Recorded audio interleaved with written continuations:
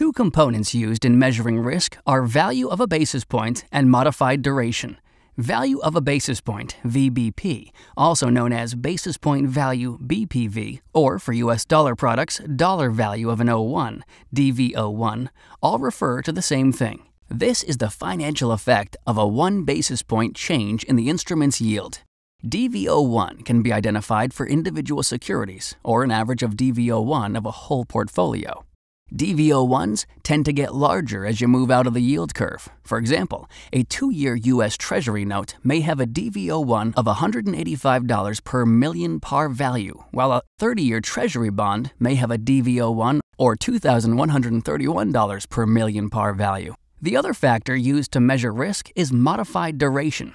Modified duration represents the financial change as a percentage gain or loss to a 1%, 100 basis points, change in underlying yield.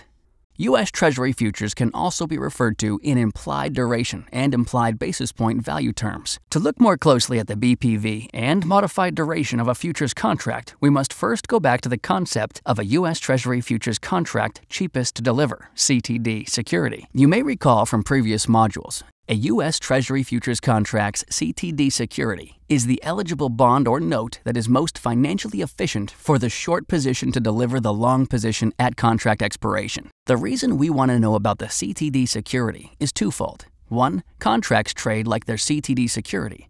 And two, we will use the CTD security and its conversion factor to arrive at that contract's implied BPV.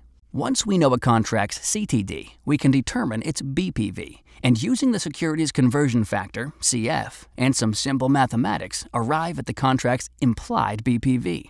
The implied BPVs for U.S. Treasury futures can be used to calculate appropriate dollar weighted hedge ratios versus a cash security of portfolio, or to calculate the spread ratios between futures contracts so we can construct dollar weighted yield curve trades.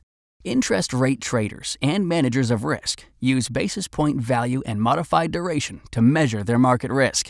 Futures contracts based on U.S. Treasury securities can also be referred to in implied basis point value and implied modified duration with a little knowledge of how the contracts price and behave and some simple math.